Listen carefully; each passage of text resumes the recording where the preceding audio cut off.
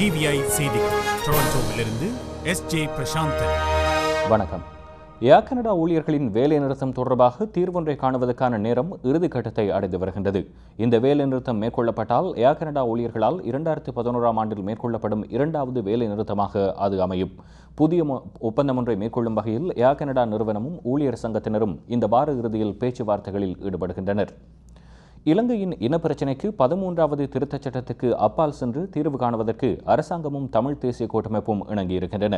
நேற்று பிற்பகல் அலரி மாளிகையில் ஜனாதிபதி மஹிந்த ராஜபக்ஷவை தமிழ் தேசிய கூட்டமைப்பினர் சந்தித்த போது இந்த தீர்மானம் எட்டப்பட்டிருக்கின்றது. தமிழ் தேசிய கூட்டமைப்பினர் ஏற்கனவே கையளித்த தீர்வு யோசனையில் தெரிவிக்கப்பட்டிருந்த பதினெட்டு அதிகாரங்கள் பதிமூன்றாவது திருத்தத்திற்கு அப்பாலானவையாக இருந்தபோதும் அவை தொடர்பாக பேசி தீர்த்து கொள்ளலாம் என அரசாங்கம் தெரிவித்திருக்கின்றது. இலங்கையில் மீண்டும் அமைதியின்மையை ஏற்படுத்துவதற்கு அமெரிக்கா முயற்சி செய்வதாக ஜாதிகஹல உரிமையை தெரிவித்திருக்கின்றது. நாட்டின் சுயாதீன தன்மைக்கு அச்சுறுத்தல் ஏற்படுத்தும் வகையில் அமெரிக்கா உள்ளிட்ட சர்வதேச நாடுகள் நடந்து கொள்வதை அனுமதிக்க முடியாது என ஜாதிகஹல உரிமையவின் பேச்சாளர் நிஷாந்த் ஸ்ரீ வர்ணசிங்க தெரிவித்தார். குஜராத் மாநில முதல்வர் நரேந்திர மோடி இன்று காலை தனது மூன்று நாள் உண்ணாவிரத போராட்டத்தை ஆரம்பித்தார். இந்து முஸ்லிம் கிறிஸ்தவ பிரதிநிதிகள் உட்பட சுமார் ஏழாயிரம் பேர் வரை இந்த உண்ணாவிரதத்தில் கலந்து கொண்டனர். அமைதி மற்றும் மத நல்லிணக்கத்திற்காக இந்த உண்ணாவிரத போராட்டம் நடத்தப்படுவதாக மோடி அறிவித்தார்.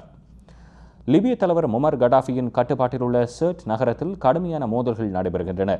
பான் வாலிட் என்ற நகரத்தில் நேற்றைய தினம் கிளர்ச்சி குழுவினர் சற்று பின்வாங்கலை எதிர்கொண்டதை தொடர்ந்து மீண்டும் மோதல்கள் ஆரம்பமாகியிருக்கின்றன.